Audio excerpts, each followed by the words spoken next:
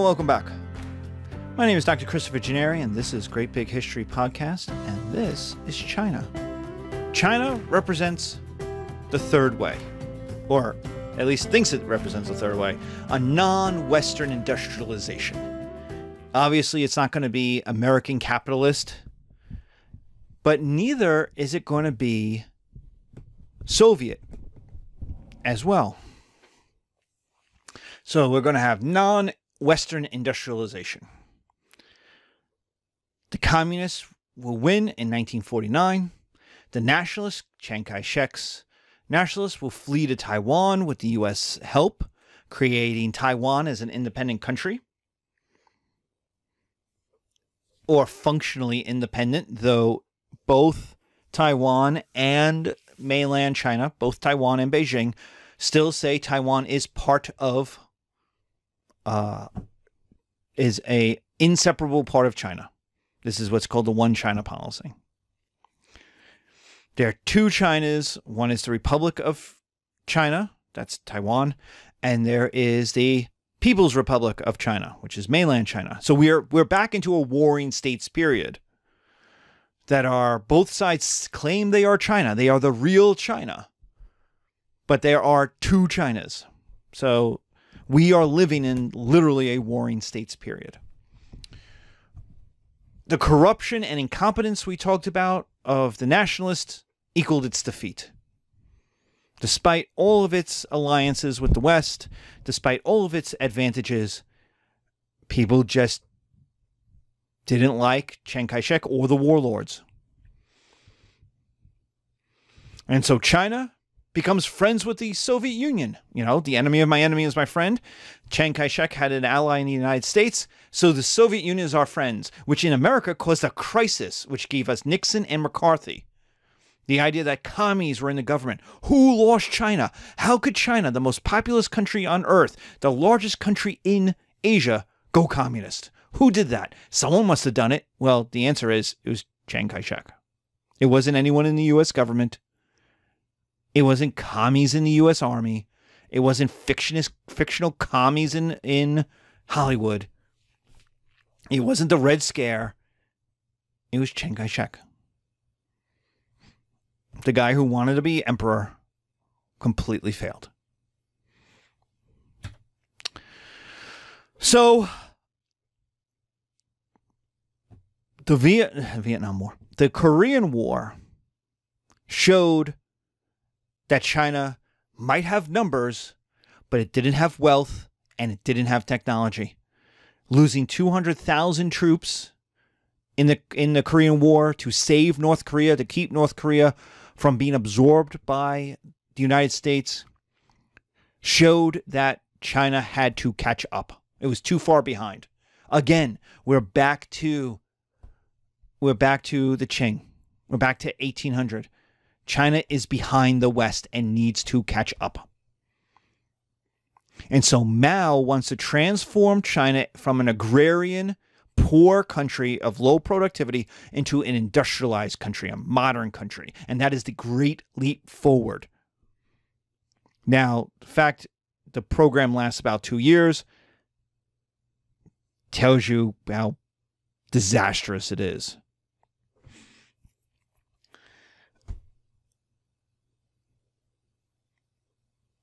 So, what is the great leap forward? One is we don't need the West. We will be independent and we'll kick out Soviet experts. Now, Mao was a great admirer of Stalin and Stalinism. Um, Khrushchev in 1953 had what was called a secret speech, in which he talked about look at all the people Stalin murdered. This is horrible. We can't do this. And basically throws Stalin under the bus. And the idea was we will compete with the United States, but we're going to compete more openly, more transparently. We will show them that's, that communism is better. We don't have to murder all of our all of our enemies. That ticked off Mao. Mao likes Stalin. He likes Stalinism. He's forming a cult of personality around him and his little red book.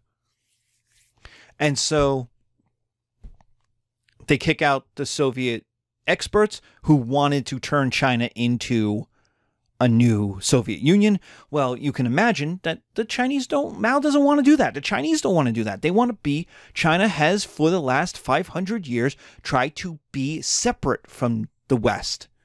They're not going to now, having won, become Western, become becomes they're not having kicked out the British and the Americans, and the Japanese, they're not going to become suddenly Soviet. That's crazy. And so they're going to find this this new way. And so what happens? We're going to have collectivization farms. That's very Stalinist, very what happens in Ukraine, and it fails just like in the Ukraine.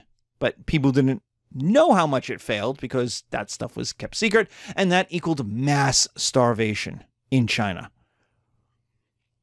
My parents grew up, and I, to a lesser extent, grew up in a you have to eat all your food there's starving children in China. Now, there's a little bit when I was young of that, but really I was, you have to eat all your food because there's starving kids in Africa.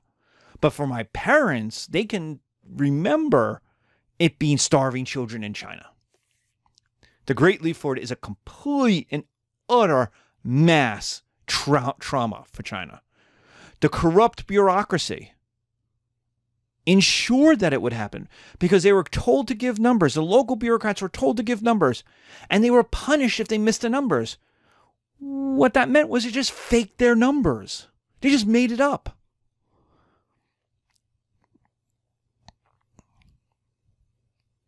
This was also a forced industrialization without any training. This is we're going to see this happen again in North Korea and it's a complete and utter disaster. This forced industrialization without any training. There's no. China was not ready for industrialization. They're not ready for factories. They're not ready for the change.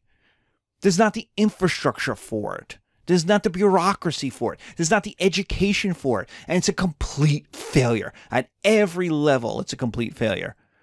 The Great Leap Forward is, is famous for the backyard uh, st- steel mill that you didn't have to have a, a, a giant factory because a giant factory would create a giant company to run that giant factory. And so it was going to be personal. It's going to be private. You're going to have you're going to have you're going to smelt your own steel. That's not going to happen because you can't physically do that. Your backyard coal-fired furnace is never going to get hot enough to create steel. And so it's it's just a failure. Everything about it is a farce. Except it kills 20 to 60 million people.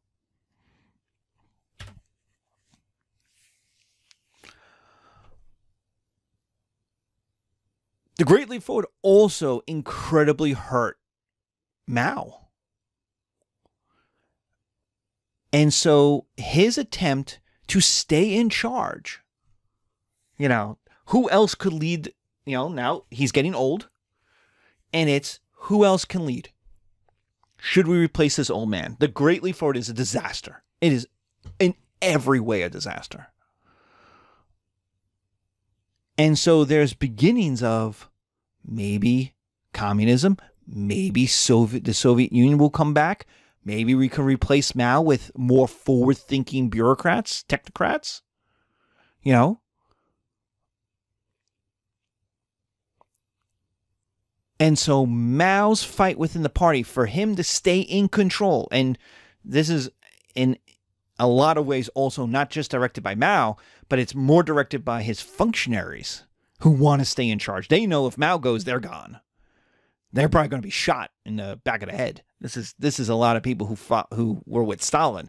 They were worried that if Stalin ever fell, they would be shot too. Many of them were. It just wasn't in 1942, it was in 1953. Um, and so, this at the last attempt to, to hold on to power, to solidify Mao as this great leader, as this cult figure,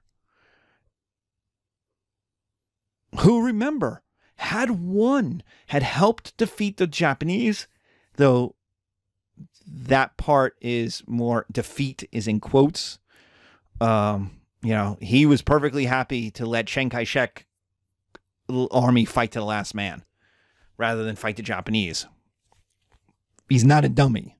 But he did defeat Chiang Kai shek. So he is a military leader who won. You know, there is something, a bravado there. There is there is something to hang your hat on. But the Great Leap Forward is a disaster. And so what is it going to be? It's going to be a cultural revolution.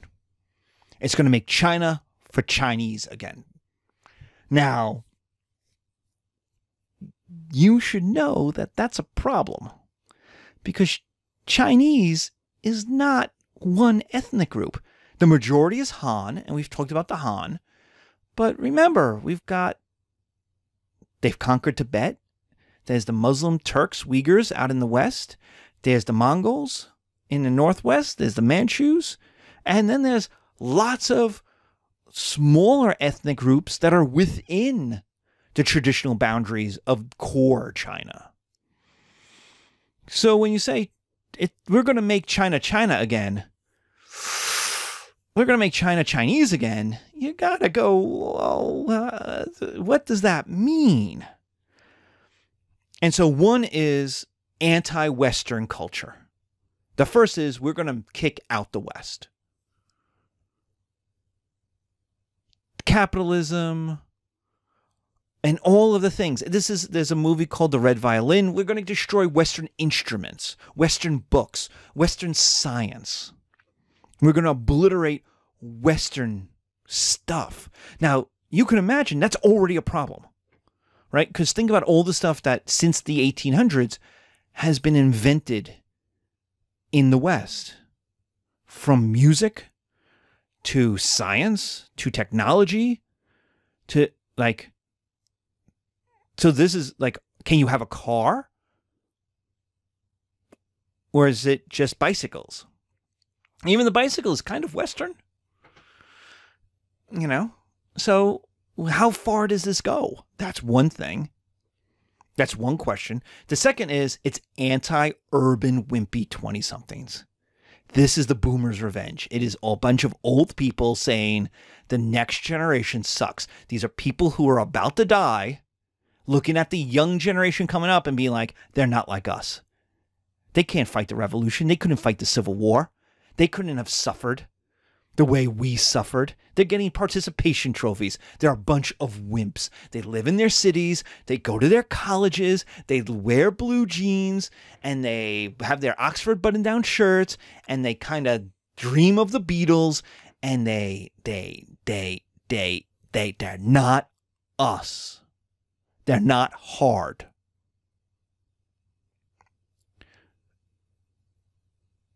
Well, you can understand that I have a problem with number two because I have dealt with that generation in America my entire life. I'm a Gen Xer. And I have been told how much harder and tougher the world has been from the Depression to my boomer parents to the amount of old people who have told me, "Hey, life's not fair." Right? When they're when they're stealing money out of my pocket, stealing time, stealing my work and my energy. Hey, life's not fair because they can do it. Right? But this is a thing.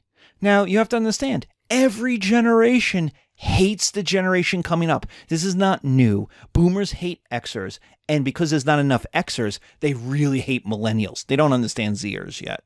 So if you're a Generation Z, congratulations. You just get lumped into millennials. Millennials are still 20 to, you know, somewhere between 15 and 25 to boomers.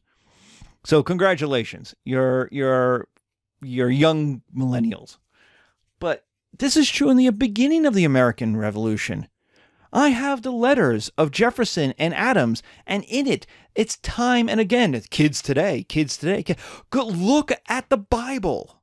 The first story is Adam and Eve mess up, right? They get kicked out of heaven. Everything is great. They mess up, they get kicked out. What's the second story? The second story is Cain murdering Abel. What does that tell you? That tells you, yeah, us old folks, we messed up, but we didn't murder each other. Kids today are even worse than we were. So the even the Bible is telling you old people hate young people. The Amer- America is built on that. Every generation is worried the next generation doesn't have the guts, doesn't have the stamina, doesn't have the steel to continue the revolution. Right? Benjamin Franklin, I, I hear this quote all the time, right? Benjamin Franklin comes out of the Constitutional Convention, right? They had already created a government called the Articles of Confederation, and it was a disaster. So they're not going to make a new government, these old guys. The revolution government, the revolutionary people had three governments. They had the revolutionary government, Articles of Confederation, and then they're going to make a constitution, right? And Benjamin Franklin comes out and they go, What do we have? A monarchy or a republic? Madam, you have a republic if you can keep it. He's an old man. He's about to die. He's telling young people, You're going to fuck this up. If you can keep it. Well, what do you mean if we can keep it? Of course we're going to keep it. No, so old people have always hated young people. The problem is when the government makes that policy, which is the Cultural Revolution. So, what happens when the government looks at all the 20 somethings and says, we have to toughen them up? We have to make them real. We have to show them what life used to be like so they can appreciate it. It's a disaster, is what it is. It's terrorism, is what it is. So let's get into it. First is destroy all the Western foreign cultural influences technology, education, music, literature, Buddhism. Right? I go Western, but you could also go Eastern as well. Buddhism comes from India. Buddhism is not Chinese. Music, musical instruments, dance, art, education, literature. They light it on fire. Right? And now, once you set this, what's not acceptable? All right, the car is not acceptable because it's made in Detroit, right? The GM cars are not made, are not acceptable. All right. But what about the bicycle? Bicycles were what? Invented in France? They're at least very French bicycles. So do you get rid of that? Like, and there are people who want to get rid of that. Remember, we're going to have Cambodia and the Khmer Rouge, which basically is make Cambodia a 1000 AD again or 1500 AD again. Right? It is turn back the clock to the Middle Ages. So that's what the code, and it's inspired. Cambodia is inspired by this. This is going on when the Khmer Rouge are coming into power. So let's get rid of all of this technology, education. It's it's it's parasitic. It's it's it's impure. Is the idea. We have to make Chinese pure again. Well, you can see the problem with that because culture isn't pure. Culture is always taking on new ideas from all over the place. The second is make students, intellectuals, and young people leave the cities. You'll we'll see the Khmer Rouge do this and for everybody. But it's make them farmers. We're going to turn college kids into farmers. Imagine, imagine you have lived in, a, in an America where there is a group of people who say, oh, kids today, they get their participation trophies. They have to learn how tough life is. Imagine them being empowered and then saying, you have to leave college because it's making you soft and you have to be a farmer. Can you think of any worse use of your ability than that? I mean, first of all, the farmers are farmers do they need millions of people coming and competing with them as farmers? That's the first problem. And the idea was you're going to learn the values of being real Chinese in a real China instead of this wimpy. And remember, the wimpy is always vaguely homosexual. It's not said out loud because you can't accuse straight people of being homosexual, but it's always a you men are women, you're you're kind of girly. You're feminist. You're feminine. You're, there's always this vague homosexuality on laying on this decadence, this, you know. You see it with conservatives in America today. There's always an accusation that, oh, you're not a real man. And there's always this vague, sissy, wimpy, vaguely homosexual, very homosexual underpinning to that. But the idea was we're going to turn you into real Chinese in real China instead of wimpy, overeducated losers. Now we see this in America. This hasn't happened in America because corporations need educated people, right? Capitalism demands education. Right? All the people on my Twitter timeline who are like, "Oh, you don't need a college degree to to to uh, make money." Well, Google thinks so. Bank of America thinks so. MetLife thinks so. Geico thinks so. Like they're not hiring people with no educations. They want people with college educations. Capitalism demands college education at this time point. Sorry, it's happened. Even industrialization, even factories in America require math, high levels of math to use the machines, to fix the machines. Like someone who says that hasn't been in a factory in a while. They haven't seen what has happened to the American workplace. I don't know. I don't know. But we see this in Sarah Palin in 2008. She went to rural North Carolina to give a speech to a crowd, to a rally, and she calls, she said, I am so glad to be here in real America with real Americans. Well, sh- what is she saying? She's saying there is a type of place in America, rural, southern, that is truer to American values. And the people who live there are truer to American identity than, than the gay, feminized, immigrant based people in the cities in New York. Right? Well, that's happening in the Cultural Revolution. They're saying the same thing. And we've seen this. If you take my History 101 course, nomadic peoples always think this about urban peoples, and rural peoples always think it about ur- urban peoples. They're rich, they're rich, fat, and lazy. Osama bin Laden thought this about Americans. They're rich, fat, and lazy. Well, of course we were. He lived in a cave for 20 years. Compared to him, we are rich, fat, and lazy. Well, actually, he was rich personally, but the people around him were poor. But of course, as a society, we're rich. He lived in a, in a cave in Afghanistan. So you can see this is feeding on and you go you may go why are we talking about this for so long but it's important because it's feeding on long cultural assumptions in many cultures in China too but in many cultures and it's being turned into violence, into a violent government policy. Because what if you didn't want to be a farmer? Well, now the government's going to make you be one. And what if you're a crappy farmer? That's not good for you or your family. It's not going to end well. What if you liked chess? What if you liked playing the violin? What if you wanted to make a rock band like the Beatles? That's bad for you. You are not Chinese. You are a traitor to the culture of China.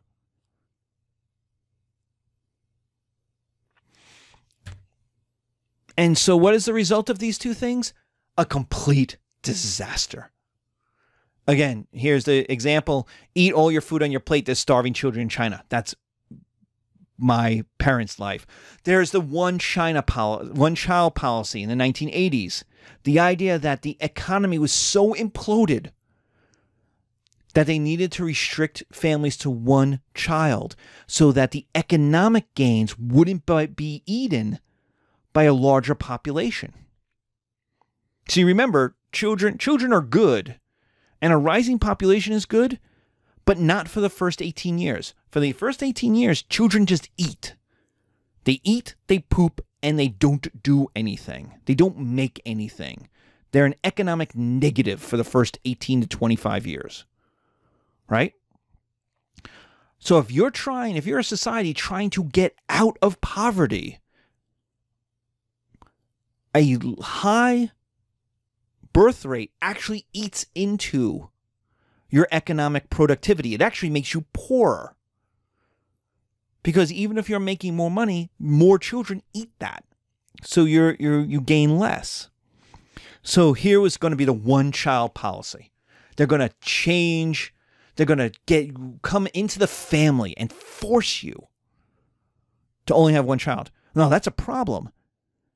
And that problem is people are going to want boys because boys in China, as we've talked about, take care of their elders.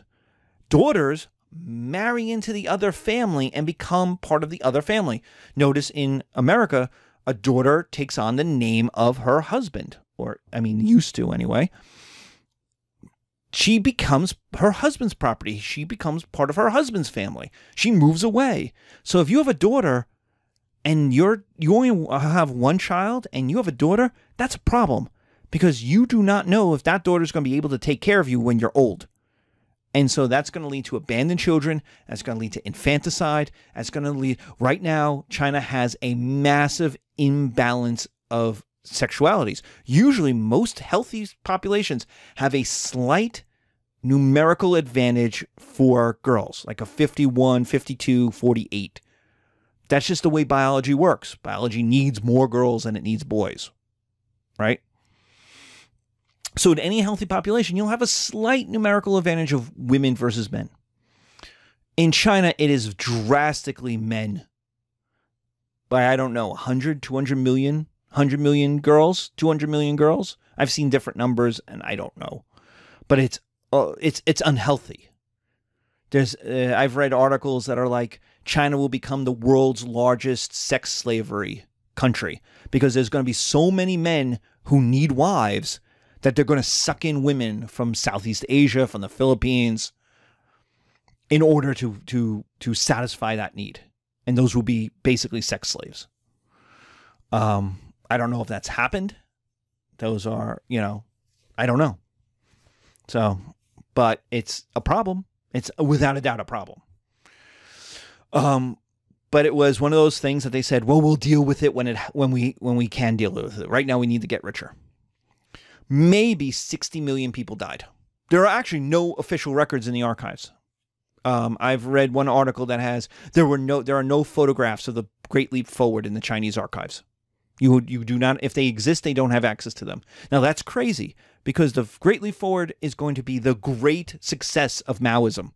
So it's going to be well documented. Every town council is going to have a photographer, an official historian who's going to take notes. Where did all that data, data go? Where did all those photographs go? Where?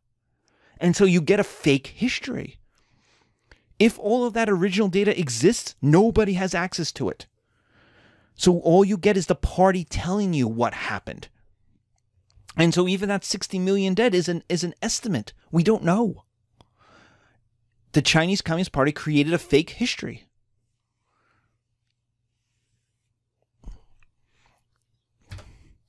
We have the ruination of a generation of government, of science, of education. Government function effectively in the 70s collapses in China into the 80s. The economics effectively collapsed because it goes back to the 19th century. Remember, that was part of the goal was to turn your university students into farmers, into low productivity farmers. And so basically your economics became the 19th century again when China was poor. You have the destruction of Chinese art, architecture, literature. It's ripped up by its roots because all of that art, architecture, and literature from 1900 or so, from 1850, is Western influenced. So it's ripped up by the roots.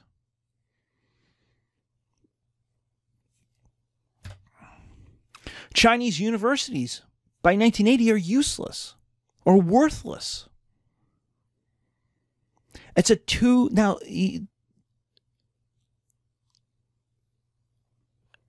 And they're still, they're just now recovering 40 years later.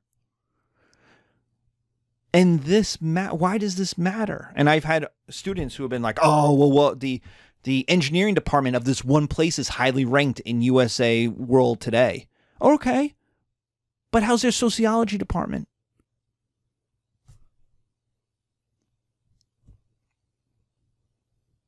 How's their history department? How's art? Like a university is all of its departments, not just one department. And let's face it, China's still exporting students. Like I had I had students, these students who objected and they went, "No, that's wrong." And I'm like, "Why are there more if what and I I asked them this question, which university do you want to go to? And they said, "Oh, UPenn, Princeton, uh, Rowan." I went, "Okay, where are those all located?" Or better yet, where in where what's a country they are definitely not located in? And the answer is China. They're not located in China. When you think of what university would you like to go to, you think of a bunch. What are the best universities in the world? You've got the Sorbonne in Paris. You've got the two in England. You've got a couple around the world, right? The French one in Canada. You got a couple in America, a couple on the East Coast, one on the West Coast, you know, a couple in the South. You can't name a Chinese university. And why does that matter? It matters because it's 2,000 year history of education wiped out. Chinese universities are some of the best universities in the history of the world. Wiped out.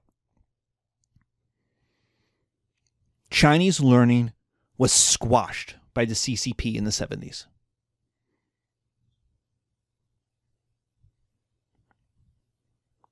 And it is such a disaster that you get after Mao dies in 76 a liberalization. They can't keep doing it.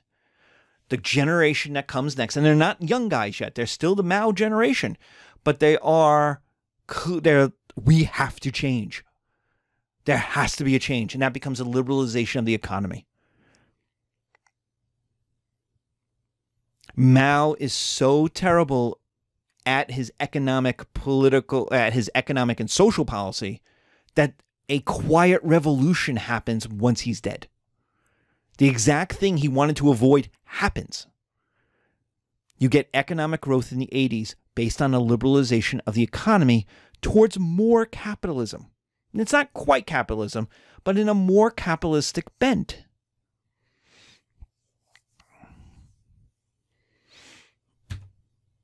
And then 1989 happens, and that will be our next lecture.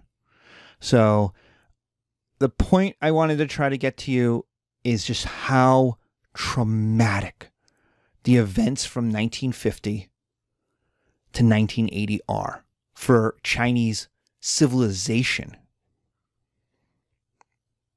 It is a trauma that all Chinese people of a certain age or over a certain age are dealing with. What was supposed to be liberalization, what was supposed to be liberation from the warlords, from the corruption, from Chiang Kai shek's military rule, from the West, was an implosion.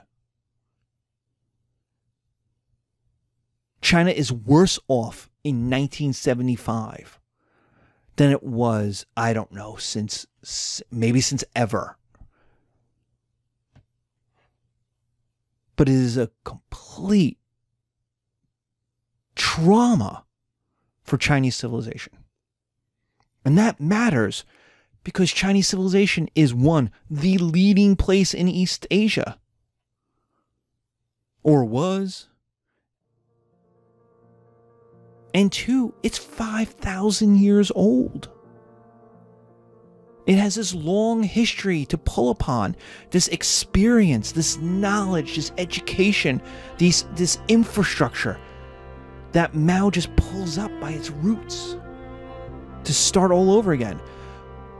We'll see what happens in Cambodia when you do that and you don't have 5,000 years of infrastructure to build upon. When you just rip up what is barely seeded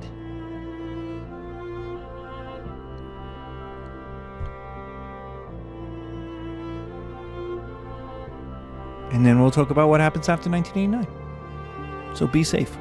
Talk to you soon.